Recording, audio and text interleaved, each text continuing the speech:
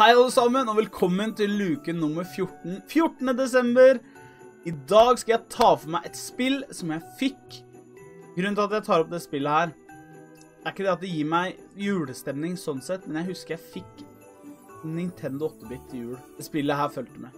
Super Mario 1, Nintendo 8-bit. Fy flate, jeg har svetta det mye rundt juletid. Jeg husker spesielt mora mi som kjøpte Mamma og pappa kjøpte det spillet her, kjøpte den maskinen her til meg. Og det blei til at mamma ble hekta. Det er, det er dritfunny, ass. Mamma ble hekta på Super Mario og satt og spilte istedenfor meg. Tror jeg aldri jeg hadde fått henne til å gjøre, den, uh, gjøre i dag, men det gjorde hun den gangen. Så det spillet her betyr veldig mye for meg av akkurat den grunn. Jeg husker hun Jeg husker gleden når hun liksom endelig kom seg og greide å redde Peach i siste slottet.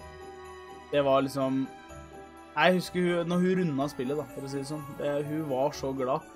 Og det er liksom første tror jeg, sånn minne jeg har av sånn spillglede. At liksom Jeg greide det etter så mye slit, etter så mange ganger jeg har hoppa og dødd og sånne ting.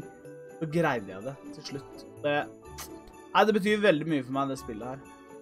Jeg regner med dere har spilt det. Hvis ikke, så må dere gå og spille Super Mario 1. Um, ja. Det var dagens spill. Dagens bokstav er R.